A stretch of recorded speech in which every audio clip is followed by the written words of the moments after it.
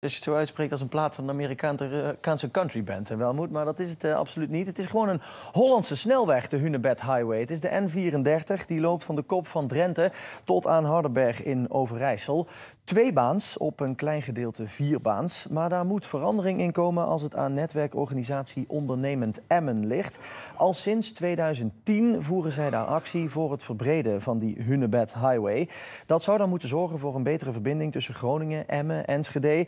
En dat is dan weer goed voor de centjes in die regio. Heel veel ondernemers uh, met die een behoorlijke link hebben met Groningen, die zeggen van nou, de N34 verdubbelen, liever gisteren dan vandaag. Het duurt gewoon veel te lang.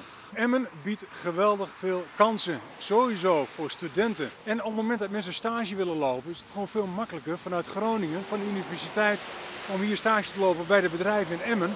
Dat gaat veel makkelijker over vierbaansweg dan op een tweebaansweg.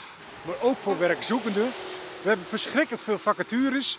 Maar de mensen willen hier wel komen, maar dan willen ze hier veilig komen. Af en toe wordt er heel vaak ingehaald, onveilige situaties, kopstaatbotsingen. Ja, het voelt gewoon niet goed. Ik vraag commitment van de provincie. Ik vraag financiële middelen voor de provincie om die te reserveren om het ook daadwerkelijk mogelijk te maken. Wij hebben de provincie Drenthe ook om een reactie gevraagd. Zij geven aan dat ze van die veiligheidskwesties op de hoogte zijn, daarover in gesprek zijn. Verder ziet de provincie geen doorstroomproblemen en is het verbreden van de gehele weg simpelweg te duur.